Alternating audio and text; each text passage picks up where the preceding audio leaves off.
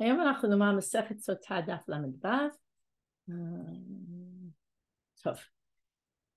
אנחנו מתחילים מתחילת הדף, מהשורה הראשונה. בואו ראה. בואו ראה כמה ניסים נעשו באותו היום. אנחנו ממשיכים בעניין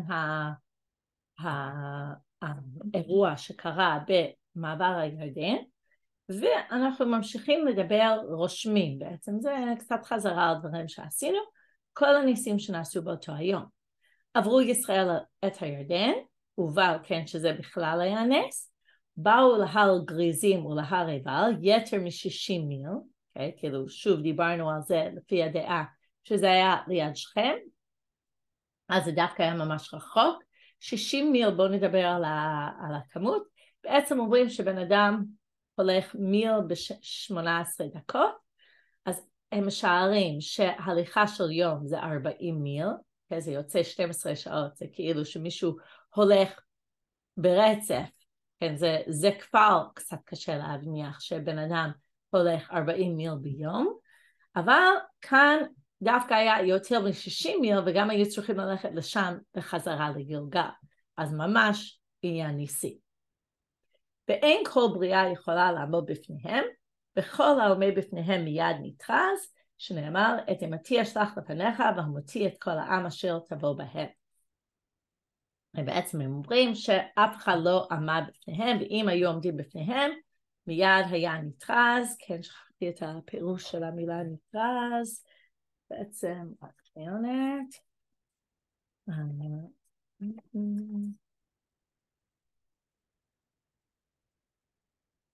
כן, כאן, נכון, אה, נכון, זה כבר נכון, שזה בעצם הם היו משלשלים, אוקיי? היה מקבל שלשול כזה, כדי שלא יהיה לו כוח בעצם להמשיך ככה, להמשיך להפריע לעם, וזה מה שלומדים מאת ימתי אשלח לבניך והמוציא את כל העם אשר תבוא בהם. ואומר, תיפול עליהם ממתה ופחד. בעצם הם אומרים שהבני אדם היו, הנדחה זה היו משלשלים מרוב פחד בעצם.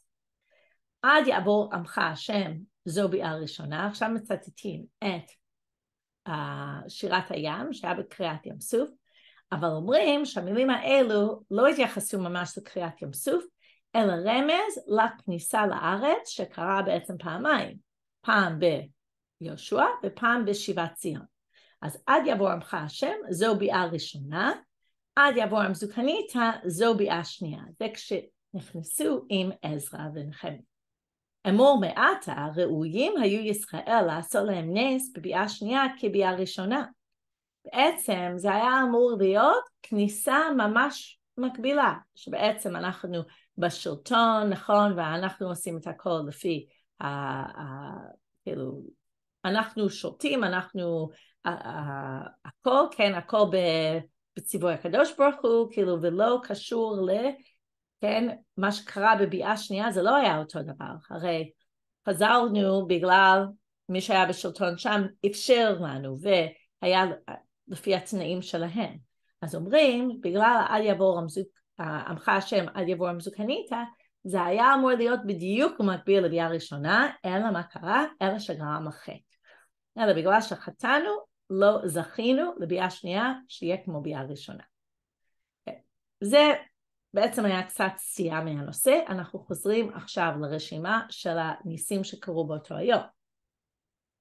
אחר כך הביאו את האבנים ובנו את המזבח, סדו בסיד, כתבו עליהם את כל דברי התורה בשבעים לשון, שנאמר באר היטב, ועלו עלות ושמים, ואכלו ושתו ושמחו, וברכו וקיללו, וכן זה הברכות וקללות, וקיפלו את האבנים, יש מחלוקת מה זה בדיוק קיפלו את האבנים. Okay, אוקיי? קיפלו זה נשמע שהם בעצם היו במזבח, כן, לקפל, או כן, אנחנו בעצם אפשר להשתמש בזה כהורידו את זה מלהיות מזבח ולקחו אותם חזרה, אבל יש כאלה שאומרים שזה, שזה קלפו, קלפו את הסיד מעל האבנים או משהו כזה, זה קצת מוזר, um, אבל יש כאלה שמסבירים ככה. ובאו ולנו בגילגל, שנאמר ועברתם אותם עמכם והנחתם אותם במלון.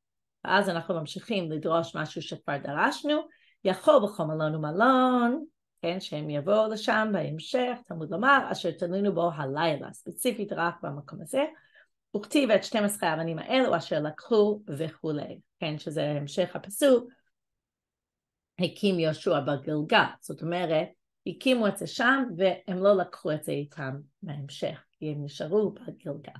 אוקיי, אז עד עכשיו מה, מה עשינו? כן, רשמנו עכשיו רשימה של כל הניסים שקרו באותו היום. כן, ואם נדבר על המרחק, כן, בוא נגיד שבן אדם הולך 40 מיל ביום, זה 12 שעות של הליכה ברצף, כאן גם היו הפסקות, כן, הם גם קראו את הברכות וקללות, הם גם אכלו ושתו וחגגו, והם גם, כן, כל מיני דברים אחרים שעשו, שבנוסף על כך הם גם הלכו, גם חזרו, אז הכל היה בעצם עניין ניסי. תנא, עכשיו מסבירים כשהם עברו לארץ, צירעה לא עברה עמהם. אוקיי? Okay? הצירעה. עכשיו בואו נקרא בפסוק שמות כ"ג כ"ח ושלחתי את הצירעה לפניך וגרשה את החיבי את הכנעני את החיטים לפניך. כאילו הקדוש ברוך הוא אומר שהוא ישלח את הצירעה, שהצירעה בעצם יעשה את העבודה בשבילנו, כן? שעצם ה... זה יעזור לנו, כן? זה כאילו בואו נראה מה הצירה יעשה, אנחנו נראה בגמרא כאן, אבל בעצם יעזור לנו עם הכיבוש. אבל כאן כתוב בברייתא שזה לא עבר את הירדן איתם, okay? אוקיי? זה נשאר בצד השני של הירדן, זה קצת מוזר, כי זה בעצם אמור לעזור לנו בכיבוש הארץ. ולא, באמת לא עבר, הכתיב, כמו שראיתי. וכמו שהראיתי לכם, שלחתי את הצירה לפניך. בעצם כאילו זה יהיה נשלח בתוך הארץ. אמר רבי שמעון בן לקיש, על שפת ירדן עמדה, כאילו הצירה עמדה בדיוק על שפת הירדן, וזרקה בהם מרה, אוקיי? כן, בעצם עמד בצד הזה של הירדן, וזרק את, בואו נראה מה זרק בדיוק, איזשהו מרה, כאילו משהו מר, משהו משמיד, וסימתה עיניהם מלמעלה וסירסתם מלמטה. כאילו גרם שהם יהיו עיוורים וגרם לסירוס מלמטה. שנאמר, איך הגיעו לזה? ואנוכי, אוקיי, עוד פסוק בספר עמוס, ואנוכי השמדתי את האמורים מפניהם, מפניהם אשר כגובה ארזים גובהו וחסון הוא כאלונים, כאילו האמורי היו מאוד מאוד חזקים, ואשמיד פריו ממעל ושורשיו מתחת. אז הפריו ממעל זה העיניים, שורשיו מתחת זה הסירוס בעצם. רב פאפה אמר שתי צרעות אבל, הוא עונה לא לא לא, זה לא שהצירה לא עבר, היו שתי צירות. אחד דמשה ואחד דיהושע, דמשה לא עבר, ליהושע עבר, כאילו למשה היה צירה, ליהושע היה צירה. אז של משה לא עבר את הירדן, אבל של יהושע כן עבר והלך לכבוש יחד איתו. שישה שבטים עלו לראש הר גריזים. אוקיי, בואו נראה את הפסוקים. שהוא בעצם, רק שנייה, מחפשת את הפסוק.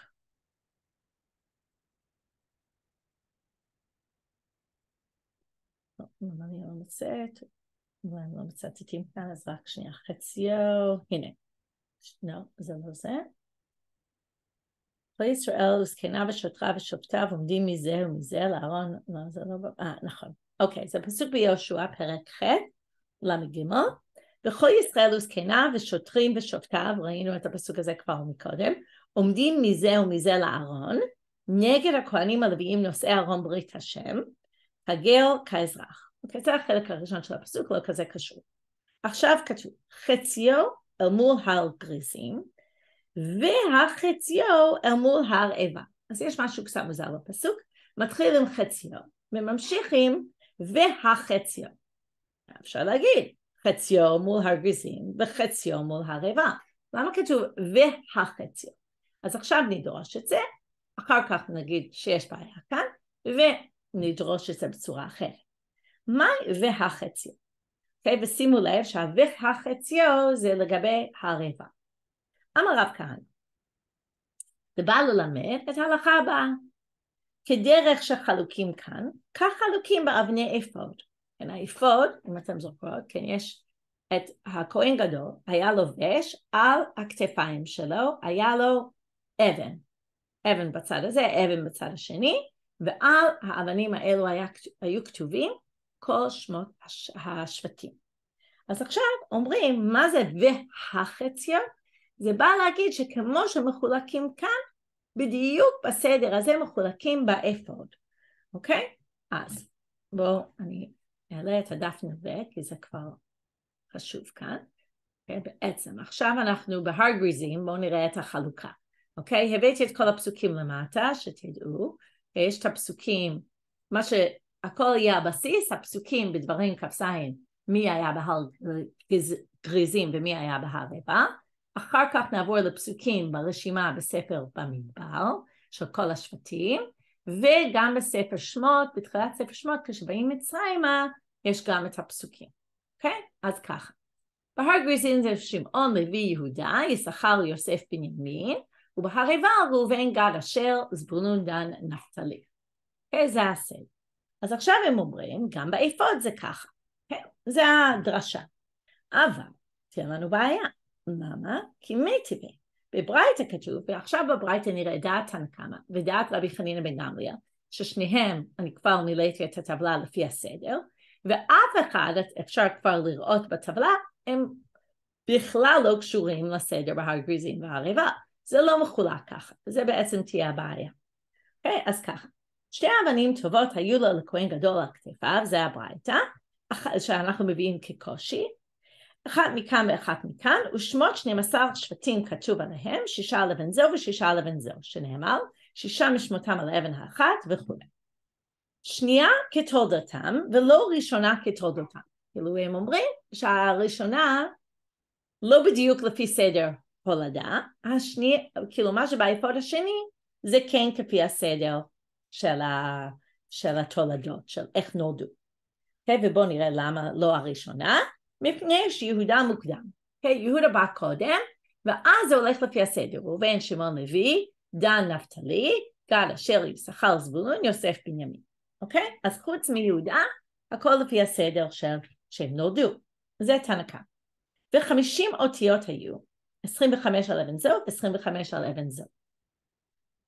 רבי חנינא, אז, אז כבר רואים הדעה הזאת בכלל לא קשורה למה שכתוב, שבהר, שזה אותו סדר של הר גריזים. כן, זה בכלל לא. יש שמעון לוי יהודה יששכר יוסף בנימין בהר גריזים, ובאפוד יש יהודה ראובן שמעון לוי דן נפתלי בראשון. אז ממש לא קשור. ורבי חנינא בן גמליאל אומר, עכשיו עוברים לעמוד ב', לא כדרך שחלוקים בחומש הפקודים, חלוקים באבני האפוד. הוא אומר, זה לא הסדר שיש בספר במדבר, אוקיי, בואו נראה את הספר במדבר, הסדר, ראובן, שמעון, לוי, יהודה, יששכר, זבולון, יוסף, בנימין, דן, אשר, גד, נפתלי. וזה הסדר שאפשר לראות למטה כאן בתחילת ספר דברים. אוקיי? זה הסדר, אני פשוט שמתי בטבלה כדי לעשות את זה פשוט יותר.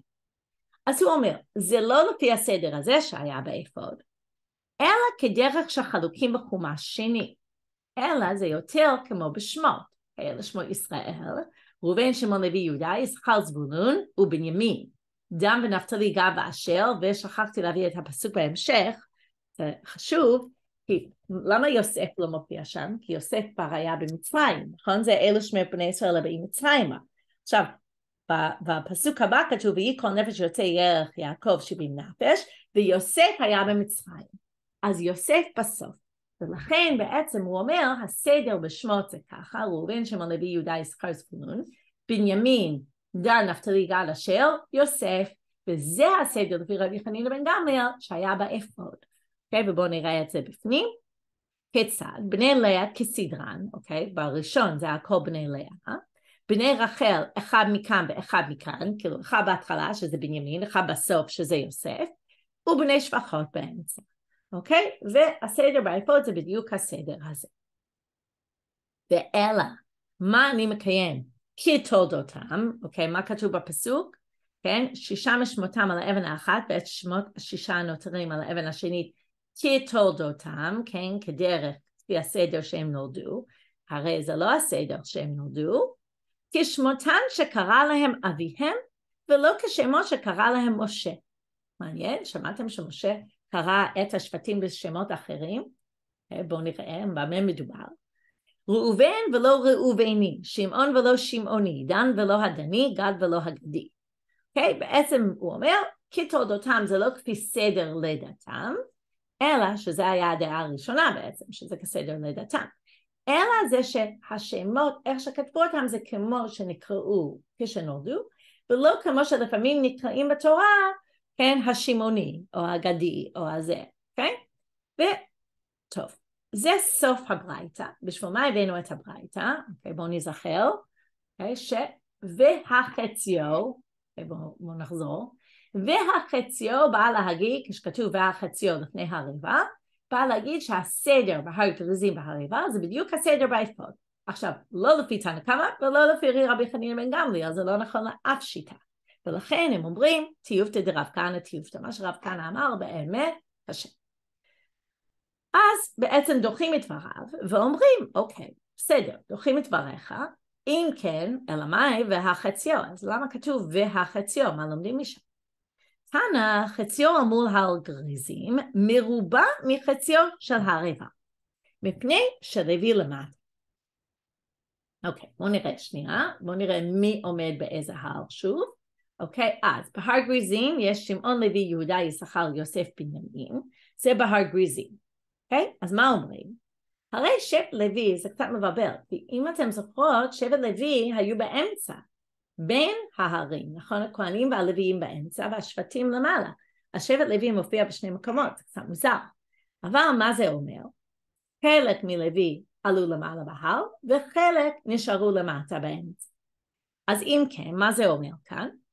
החציו ליד הר עיבל בא להגיד שחציו, מול, שחציו של מול הר גריזים, אלו שעמדו בהר גריזים, נכון? מי שמול, מה למדנו? הם עמדו קצת למטה מהפסקה, והסתכלו על הפסקה, אז ממול הר גריזים זה אלו שבהר גריזים. היו יותר מחציו של הר עיבל בגלל שלוי קצת, חלק משבט לוי למטה. Okay, יש משהו לא מובן בכלל. עם לוי בהר גריזים וחלק מהם למטה, דווקא אמור להיות הפוך, זה בדיוק מה שהגמרא אומרת. אדרבה, מפני שלוי למטה בצבו לו, בגלל שלוי למטה דווקא בהר גריזים הם אמורים להיות פחות. כאילו מה? הם אמרו בהתחלה, והחציו בהר עיבל זה בא להגיד שהם היו מועטים שם, בגלל ששבט לוי למטה. עכשיו זה לא מובן בכלל, בגלל ששבט לוי חלק למטה, דווקא בהר גריזים יש פחות. אז מה אומרים? הכי כמה. אף על פי שלוי למטה, זה, זה לא בגלל שלוי למטה, דווקא בהר עיבל היו פחות אנשים, למה? למרות שלוי היה למטה, ולוי בהר גריזים, ואם כן זה לא היה שבט מלא, אבל בני יוסף עמהם, אבל מי בהר גריזים גם? יוסף בהר גריזים. ומה אנחנו יודעים לגבי בני יוסף? יוסף בסופו של דבר הופך לשני שבטים, כי הם היו המון אנשים. ואיך אנחנו יודעים שהם היו המון אנשים, לא רק בגלל שיש להם שני שבטים, אלא שנאמר וידברו בני יוסף על יהושע לאמור, מדוע נתת לי נחלה גורל אחד וחבל אחד ואני עם רב, כאילו נתת לי רק אזור אחד, כן גורל אחד ואני עם רב, יש לנו המון אנשים.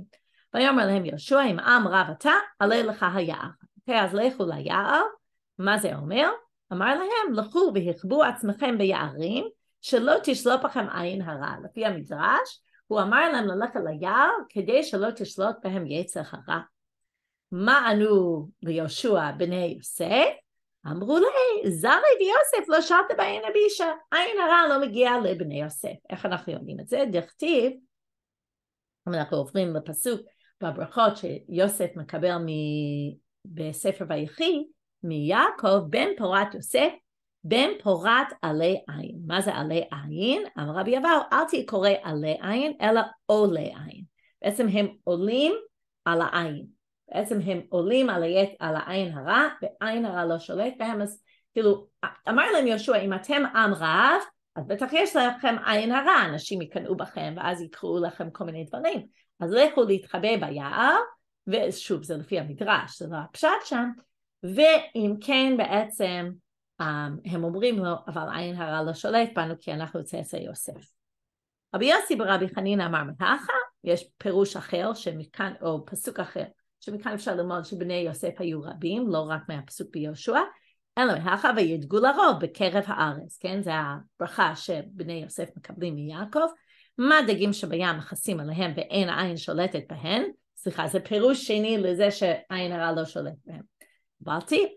לא לזה שהם רבים, אבל זה גם רבים, כן, וידגו לרוב בקרב הארץ, אבל כמו שדגים בים, מים מכסים עליהם ואין העין שולטת בהם, כאילו העין של אנשים לא רואה את הדגים, כי כן, זה, הם מתחת למים, אף זרעו של יוסף אין העין שולטת בהם. אוקיי? Okay? אז עכשיו הסברנו בסופו של דבר מה זה והחציו, זה לא מה שחשבנו, שהאפוד זה בדיוק כמו שהם היו כאן, כן, שזה בעצם היה לקחת את המילה הזאת ולהוציא את זה מההקשר ולהגיד שזה מדבר על האפוד, אבל זה לא טעם אף שיטה שראינו, ואם כן, הסברנו בסופו של דבר שזה בא להגיד שהחצי בהר עיבל היו פחות. למה היו פחות? למרות ששבט לוי היה בהר גריזים והם היו מעט, דווקא בני יוסף היו רבים, וזה לא רק מילא את החסר בשבט לוי, אבל הם היו יותר אנשים מאשר היו בצד השני. עכשיו שואלים שאלה קטנה על מה שנאמר מקודם על הברייתא הזאת לגבי האפוד. אולי לא שמתם לב, אבל מה כתוב? שהנה חמישים אותיות, כאילו אמרו שיש חמישים אותיות באפוד, 25 בצד הזה, 25 בצד השני. חמישים נכי חדא הויין, זה דווקא 49, זה חמישים מינוס אחד, כאילו זה לא חמישים. אמר רבי יצחק, יוסף הוסיפו לו עוד אחד, שנאמר עדות ביהוסף שמו בצאתו על ארץ מצרים. אז כנראה כתבו את יוסף עמהם.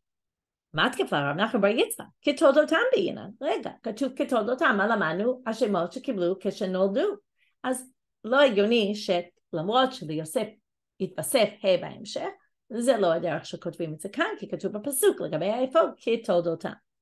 אז אלא כל התורה כולה בימין כתיב, בלי יוד, אוקיי? יש שני יודים, נכון? יש בין יא מין, היה בטוח יש יוד, אבל המין מם נון זה כתוב בתורה. והכה בנימין שלם. אבל דווקא כאן באפוד כתבו את זה עם יוד בסוף, מם יוד נון, למה? כי כדכתיב, ואביו קרא לו בנימין, דווקא כשהוא מקבל את שמו, וזה כתולדותם, מופיע שם יוד בסוף. אז לכן דווקא באפוד כתבו את זה עם יוד. ואז אנחנו מגיעים לחמישים. אמר רב חנה בר ביזנא, אמר רב שמעון חסידה, יוסף, עכשיו אנחנו הזכרנו את העניין של יוסף שהוסיפו לו ה' בשמו, עכשיו אנחנו נלמד למה הוסיפו לו את ה'. היום אנחנו ממש כן סוטים הרבה מהנושא, אמ, אז יוסף. אז מה הם אמרו? יוסף שקידש שם שמיים בסתר, הוסיפו עליו אות אחד משמו של הקדוש ברוך הוא. יהודה שקידש שם שמיים בפרהסיה נקרא כולו על שמו של הקדוש ברוך הוא. אז יש את יוסף שקידש שם שמיים בסתר, יש את יהודה שקידש שם שמיים בפרהסיה. אז יהודה זכה לכך שבתוך השם יהודה יש את היוד כ' ו' כ', נכון? השמות של השם. יוסף קיבל ה', הוא קיבל תוספת שזה אות של הקדוש ברוך הוא משמו, אבל רק אות אחד, וזה בגלל ההבדלים ביניהם. רק נגיע היום ל, ליוסף, ומחר אנחנו נגיע, או אולי נתחיל ממש בסוף הדף שלנו, עניין של יהודה. אנחנו נאמר איפה קידש שם שמיים בסתר יוסף, ואיפה יהודה קידש שם שמיים בפרהסיה. יוסף מאי, דכתיב. ויהי כיום הזה, כן כיום הזה, מתי אנחנו באשת פוטיפר. ויבוא הביתה לעשות מלאכתו. בשביל מה הוא הלך הביתה באותו יום? אמר רבי יוחנן מלמד ששניהם לדבר עבירה נתכוונו. הדעה הזו, גם יוסף חשב לשכב עם אשת פוטיפר. ויבוא הביתה לעשות מלאכתו, רב ושמואל, אחד אמר לעשות מלאכתו ממש, ואחד אמר לעשות צרכיו נכנס. אחד אומר, הוא באמת נכנס לעשות מלאכה, כן, תמים. הדעה השנייה, הוא נכנס לעשות צרכיו, זאת אומרת לשכב עם אשת פוטיפר. ואין איש מאנשי הבית. אז הם אומרים, רגע, אפשר בית גדול כביתו של אותו רשע, לא היה בו איש? כאילו זה בית מלא עבדים וזה, ומה, לא היה שום אף אחד. כאן נדבר רבי ישמעאל, אותו היום יום היה. זה היה החג שלהם, והלכו כולם לבית עבודה זרה שלהם, והיא אמרה להם, חולה היא. כי היא אמרה, חולה היא, היא אמרה, אני חולה, אני אשאר בבית. אמרה, אין לי יום שנזקק ליוסף כיום הזה. היא ראתה את ה... הזדמנות להיות יחד עם יוסף באותו היום, לכן היא נשארה בבית טענה שהיא חולה. ותתפסהו בבגדו לאמור וכולי. באותה שעה, כאילו, אז מה קרה? אם יוסף בעצם רצה את זה, מה עצר אותו בסוף? באותה שעה, בת הדיוקנו של אביו ונראתה לו בחלום, okay? אוקיי? הוא בעצם מסתכל כנראה על, בת, על האשת פוטיפר, ומאחוריה לא יודעת איפה, אבל יש חלון, והוא רואה פתאום את הפרצוף של אבא שלו בחלום. אמר לו, הפרצוף מתחיל לדבר איתו, עתידים אחיך שיכתבו עליו בני אפוד, ואתה ביניהם. רצונך שימחה שמך מביניהם, ותיקרא רועה זונות, דכתיב ורועה זונות יאבד הון, כאילו אם תהיה רועה זונות, ואז אתה תאבד הון, ואז השם שלך לא יופיע באפוד.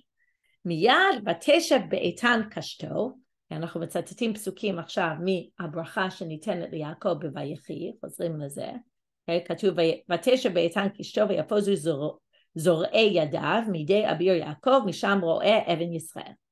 אז מה זה ותשב באיתן קשתו?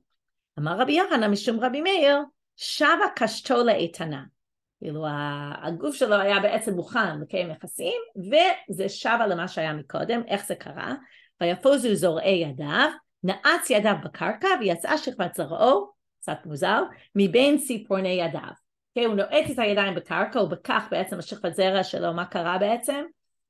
זה יצא, כן, חזר מהאיבר המין שלו ועלה לתוך הזרועות, ומשם יצא מהאצבעות שלו. Okay, אוקיי? זה לא בדיוק קרה ככה אני מניחה, אבל הכוונה, כיוון שהוא נעץ את ציפורניו, כן, אז הוא גרם לכך שהאדם ילך, כן, אדם מהגוף שהלך לאיבר המין שלו, כן, במקום להיות שם, זה, um, זה יחזור לידיים בעצם, ובכך הוא אסף את עצמו.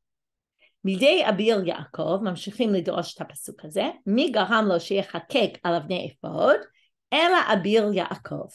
כן, וזה בדיוק הדיוקן של יעקב, מכאן אנחנו לומדים את זה, שוב, ותשב באיתן קשתו, ויפוזו זרועו ידיו, כאילו היה הקשתו זה בעצם האיבר המין שלו, כן? שזה היה באיתנו.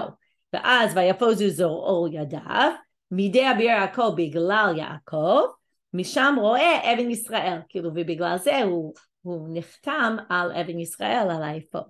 משם רואה אבן ישראל, מכאן זכה ונעשה רואה, שנאמר, רואה ישראל האזינה נוהג כצאן יוסף. והוא הפך להיות רועה של ישראל. טניה, היה יוסף ראוי לצאת ממנו 12 שבטים כדרך שיצאו מיעקב. Okay, הוא היה אמור ללדת 12 אחים, שנאמר אלה תולדות יעקב, יוסף, כן, אוקיי, זה לא בדיוק, זה עוצר את הפסוק באמצע, כן, אלה תולדות יעקב, מה הפסוק? יוסף בן 17 שנה, אבל הם קוראים את זה כאילו עוצרים אחרי יוסף, אלה תולדות יעקב, יוסף, כאילו שיהיו להם אותם תולדות. אלא שיצא שכבת זרע זרעו מבין ציפורני ידיו, בעצם האקט הזה בגלל, הוא נענש בגלל שהוא היה מוכן, כן, שכבת זרעו היה שם מוכן לצאת לקראת, כן, לקיים יחסים עם אשת פוטיפר, ובגלל זה הוא, זכ... הוא לא זכה שכל הילדים שלו, כן, זה נכון שבסופו של דבר הוא קידש שם שמיים והוא לא עשה, אבל זה שהוא היה מוכן לעשות, בגלל זה הוא הפסיד. עכשיו מה הוא קיבל במקום? אף על פי כן יצאו מבנימין אחיו, אוקיי? Okay? ליוסף היו שני בנים, לבנימין היו עשרה בנים, אוקיי? ואז אומרים, אה, העשרה בנים יחד עם השתיים, זה השתים עשרה. ולא רק זה, כולם נקראו על שמו, כל הילדים של בנימין נקראו על שם יוסף. אוקיי? ועכשיו אנחנו נדרוש את השמות של בני בנימין, ובני בנימין בלו ובכר ואשבל וכולי. בלה שנבלע בין האומות, כן, שזה יוסף, הוא היה בתוך מצרים, ובכר בחור לאמו היה. ואשבל ששבה אוהל. הקדוש ברוך הוא גרם שהוא היה בשבי. הוא היה בבית הסוהר. גרש שגר באכסניות. הוא, הוא, כן, הוא גר בכל מיני מקומות, הוא לא היה בבית שלו. נאמן, שנעים ביותר, אחי וראש, אחי הוא וראשי הוא, כן, כי הוא היה הראש של האחים. מופים וחופים, כן, זה שמות של בני בנימין, הוא לא ראה בחופתי ואני לא ראיתי בחופתו. כן, אז בנימין בעצם קורא את השמות של, שזה מזכיר שלא לא חיינו ביחד באותו, באותה עת שהוא התחתן ואני התחתנתי, וארד שירד לבין אומות העולם, או איכא דאמרי ואלד שפניו דומים לוורד, אולי מלשון ורד, כשהוא היה ממש יפה, נראה כוורד. אז בנימין קרא את הבנים שלו על שם יוסף לפי המדרש הזה. אמר רבי חייא בר אבא, אמר רבי יוחנן, בשעה שאמר לו פרעה ליוסף, אוקיי, בגלל שאנחנו עדיין על יוסף אז אומרים כל מיני דברים עליו, כשאמר פרעה ליוסף ובלעדיך לא ירים איש את ידיו וכולי, כן, בעצם הוא שם אותו כמנהיג במצרים, אמרו הצטגניני פרעה, עבד שלקחו רבו בעשרים כסף תמשלהו עלינו, כאילו מה אתה לוקח מישהו שהיה עבד ועכשיו הוא מושל עלינו? אמר להם, גינוני מלכות אני רואה, כן, יש לו יכולות. אמרו לא, אם כן, יהיה יודע בשבעים לשון. אז אם הוא יהיה מנהיג, שהוא צריך לדעת שבעים לשון. אולי תזכרו, הזכרנו את זה מקודם.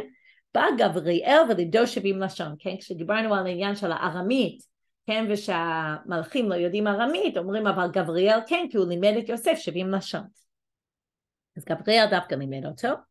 לא הווה כגמא, אבל היה לו ממש קשה ללמוד. הוסיף לו אות אחד משמו של הקדוש ברוך הוא ולמד. עכשיו אנחנו לומדים למה הגענו לזה. כי קודם אמרנו, הוסיפו לו אות של השם, בגלל שהוא קידש שם שמיים בצנעה, כן, בתוך הבית, בסתר, ועכשיו, מה הם אומרים? האות התווסף כדי לעזור לו ללמוד את השבעים לשון, שנאמר עדות בהוסיף שמו, שימו לב, בצאתו על ארץ מצרים, כשהוא יצא להיות המנהיג, בדיוק בצנע שאנחנו מדברים עליו, ושפת לא ידעתי אשמע. כן, שפה שאני לא ידעתי, עכשיו אני מבין. אז זה בדיוק, ההי עזר לו ללמוד את השפות לפי הפירוש הזה. עכשיו אנחנו נראה את הדו-שיח שהיה בין יוסף ופרעה, נאמר סיפור מעניין, ולמחר כל אישה נדישתא פרעה בהדה, ההדר לה. אז פרעה התחיל לנסות אותו, כן, התחיל לדבר איתו בכל מיני שפות, כל שפה שהוא אמר, הוא החזיר לו תשובה. אשתי אי בלשון הקודש. אז יוסף מתחיל לדבר עם פרעה בלשון הקודש. לא הווה כידע מה הווה אמר, ופרעה לא הבין אותו בכלל, כי למרות שהוא ידע כל מיני לשונות, פרעה לא ידע שפת הלשון הקודש. אמר לי אגמר, אז הוא אמר אני אלמד אותך, אגמרי ולא גמר. הוא ניסה ללמד אותו אבל פרעה לא, לא הצליח ללמוד. אמר לי, אז עכשיו פרעה אומר לו, ואני חושבת שהסיפור הזה זה, זה קשור לסגנון של הסיפורים, כשפרעה היה הולך ליאור בבוקר להשתין, לעשות צרכיו, כן הוא היה עושה את זה מוקדם בבוקר, כי רצה כל הזמן שאנשים יחשבו שהוא מעל הטבע, נכון? שהוא לא עושה כאלה דברים כמו בני אדם, אז הוא אומר לו, כן זה, זה בעיה, אם יוסף יודע יותר שפה, יותר שפות ממה שהוא יודע, אז אמר לי, איש שבלידו לא מגלה, כן? שווה לי שלא תגלה לאף אחד שיש שפה שאתה מכיר שאני לא. אז איש תבלה, אז הוא, הוא נשבע לו. כי אמר לי, עכשיו בהמשך, כשיעקב מת, ויוסף רצה לגבור אותו בארץ ישראל, אמר לי, אבי השביעני לאמור, okay? אוקיי? עוד שבועה, כן? הוא אומר, אבא השביע אותי בעניין הזה, שאני אביא את הגוף שלו למצרים, uh, לארץ ישראל. אמר לי, זילית של השבועתך, פרעה לא רצה שהוא ילך לארץ ישראל, אז הוא אמר לו, שוב, זה לפי הסיפור, לא לפי הפשט, והוא אמר לו, תשאל על השבועה, אוקיי? כן, כולנו יודעים, למדנו מסכת נדרים, אפשר לשאול על נדר, אפשר לשאול על שבועה, אז יופי. אמר לה, וישאלנה מידידה. אז הוא אומר לו, אם אני אשאל על השבועה הזאת, אני אשאל גם על השבועה שיש לי איתך. ואז אני אספר לכולם שאתה לא, כן, זה בלקמייל, נכון? הוא בעצם אומר, אה, אז אני אשאל על השבועה שיש לי ביני לבינך, ואני אספר לכולם שאתה לא יודע לשון הקודש. אמ, אמ, ואף אגב דלא ניחא לי, למרות שלפרעה לא היה נוח לו שיוסף יעזוב את מצרים וילך לארץ ישראל לקבור את אביו, אמר לי עליהו קבור את אביך כאשר השפיעך. הם דורשים דווקא את המילה כאשר השפיעך, בגלל שיש לך שבועה אז אין מה לעשות. אם לא הייתה שבועה אז הייתי, כן, הייתי בעצם מוותר, לא הייתי נותן לך ללכת, דווקא בגלל, ועכשיו הם מסבירים יותר מזה, זה לא שהיה כל כך אכפת לו שיוסף נשבע לאביו, זה היה קשור לשבועה שהיה לו עם יוסף, כי אם הוא ישאל על זה, יוסף אומר, אני אשאל גם על השבועה ביניהם. אוקיי, אז ראינו כל מיני סיפורים מעניינים על יוסף, ומכאן אנחנו עוברים ליהודה, וכפי שאמרתי, אנחנו רק נתחיל את זה עכשיו. יהודה מהי? דתניא, היה רבי מאיר, אז איפה הוא קידש שם שמיים בפרהסיה? את זה לא בדיוק נראה היום, אבל נתחיל. דתניא, רבי מאיר אומר, כשעמדו ישראל על הים, היו שבטים מנצחים זה עם זה. זה אומר אני יורד תחילה על הים, וזה אומר אני יורד תחילה על הים. ונראה לפי הסיפורים מי קפץ לים ראשון, כולנו יודעים את הסיפור על נחשון בן עמינדב, שהוא משבט יהודה, בסופו של דבר נגיע לזה, אבל דווקא בתחילת השיעור מחר נראה דעה אחרת, שזה לא היה יהודה, זה היה מישהו אחר. אוקיי? אז זה סוף הדף שלנו להיום. בואו נעשה חזרה קצרה. התחלנו עם כל הניסים שקרו באותו היום שעברו את הירדן. משם כן דיברנו גם על הצירעה, שהצירעה לא עברה עמהם, או אולי כן, כן אולי היו שתי צירות של משה ושל יהושע, אולי הסעד שלה מעבר לירדן, נכון, זרק את הכאילו ארס שלה ושלו וזה, ואז דיברנו על ה... והחציו, ניסינו לדרוש והחציו זה דווקא על האפוד, וכן שזה בהר עיבל, ואז אומרים זה בדיוק אותו סדר, ואז אמרנו אבל זה לא מתאים לאף שיטה, ואם כן אמרנו והחציו זה דווקא שהחצי בהר עיבל היו פחות מהחצי בהר גריזים, למרות ששבט לוי היו מעט והיו בהר גריזים, אבל שבט יוסף התרבה עליהם, ומשם הגענו ליוסף בעצם, וכל מיני עניינים שלמדנו לגבי יוסף. כן, יש עוד כמה דברים, אבל זה סיכום. טוב, שיהיה יום טוב לכולם ונתראה מחר.